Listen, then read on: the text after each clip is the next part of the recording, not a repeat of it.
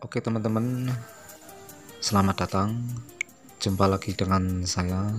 Tentu yang selalu memberikan tutorial seputar HP Vivo dan juga informasi, trik dan tips.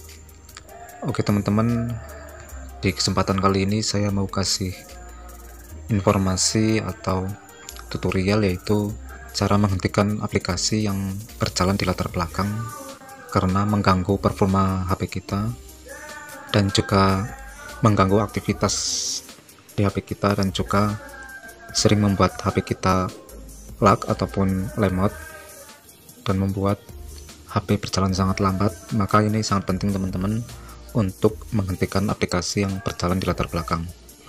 Oke teman-teman langsung saja kita ke pengaturan untuk kita mengatur atau setting agar aplikasi tidak berjalan di latar belakang Oke teman-teman yang pertama kita masuk ke kartu ganda dan jaringan. Kita scroll. Nah di sini teman-teman perhatikan. Ketika tombol ini semua aktif maka aplikasi-aplikasi ini menggunakan data internet ketika data internet diaktifkan. Maka teman-teman atur untuk dinonaktifkan.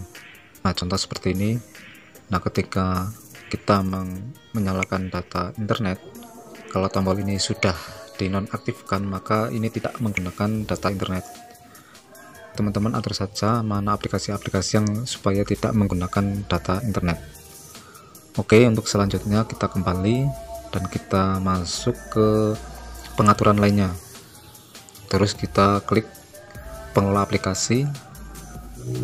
Dan kita atur lagi. Nah contoh saja tadi saya sudah menonaktifkan jaringan data internet di aplikasi Facebook. Kita klik lagi ke Facebook.